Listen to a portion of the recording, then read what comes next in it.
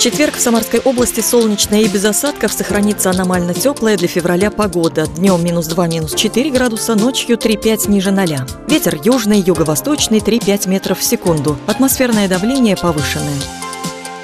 В Сызрани ясное небо, в дневное время 5 градусов с минусом, ночью 3 ниже 0. Ветер юго-восточный, скорость 3 метра в секунду.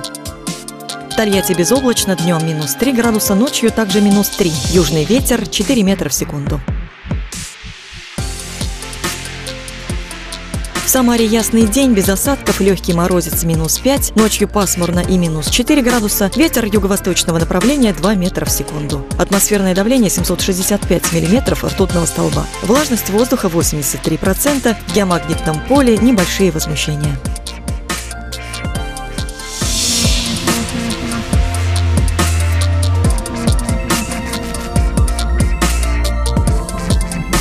Прогноз погоды предоставлен погодным порталом kismeteo.ru.